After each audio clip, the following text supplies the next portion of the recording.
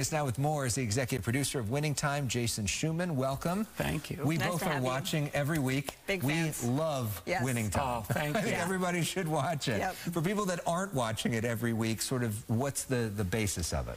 Season one uh, sort of started right when Dr. Buss bought the team at the beginning of the 80s, drafted Magic with the first pick, and season one took you through that rookie season and ended with them winning the championship in spite of Kareem's injury and all the backroom drama and what it takes to put a championship team together. Now, season two picks up where that left off. Now there's all this pressure. Now there's the egos. Now there's, you know, everything that comes with that.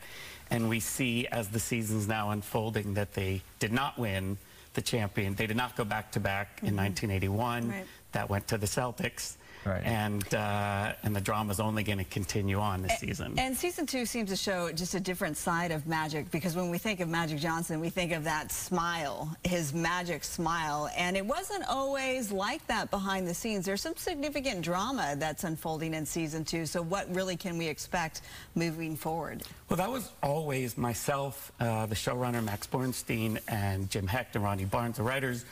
That was always our intention, was these Shakespearean arcs that really did exist, that magic behind the smile had a lot of complexity.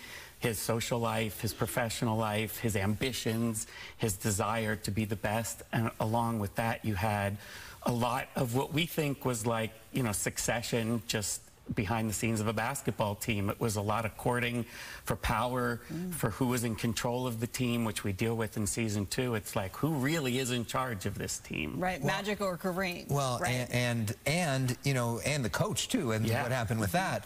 Um, and and this is all based on this book by Jeff Pearlman called Showtime, which is so well done. Um, and what happened when you guys first read this book? Uh, Jim Hecht read it first, called me. I remember exactly. I was in the car and I answered my phone and he said, How do you want to be a part of the greatest television series in the history of TV? And I said, What? And he goes, Go get Jeff Pearlman's book. I Yeah. did. I read it that day. I called them, Let's do this. Remarkably, that was 10 years ago. Yeah. It took a long time to assemble the right team, which included Adam McKay and Kevin Messick, who have been the leaders and invaluable to the show and HBO. And it's challenging, you know, sort of doing this as a drama, making it good TV by also being honest to what actually happened. Some of the players have criticized that it's not accurate enough. Um, but Jeanie Buss, who is portrayed in it, is the daughter of uh, Dr. Jerry Buss, who is, of course, Yeah. the, the lead of the show. Uh, recently talked about it. At first, she didn't really talk about the fact that she watched the show. Now she says she is watching the show. Here's what she said. They just started season two, and I think that John C. Reilly's done a really good job at capturing uh, Dr. Buss. And um, and I know some people are like, I can't believe you're watching that show. And I said, you know what? I just I really miss my dad so much. It's it's kind of nice to see him. How does that make you feel? It, for me and all the filmmakers involved, we were so overjoyed because we take so much pain to make the show detailed and real mm-hmm. and bring you into this era. This isn't just about basketball. It's not just an LA story. It's a story about family. It's a story about an era in sports that changed everything for mm-hmm. the sport people adore now and the Jordan of it all and, my, and LeBron.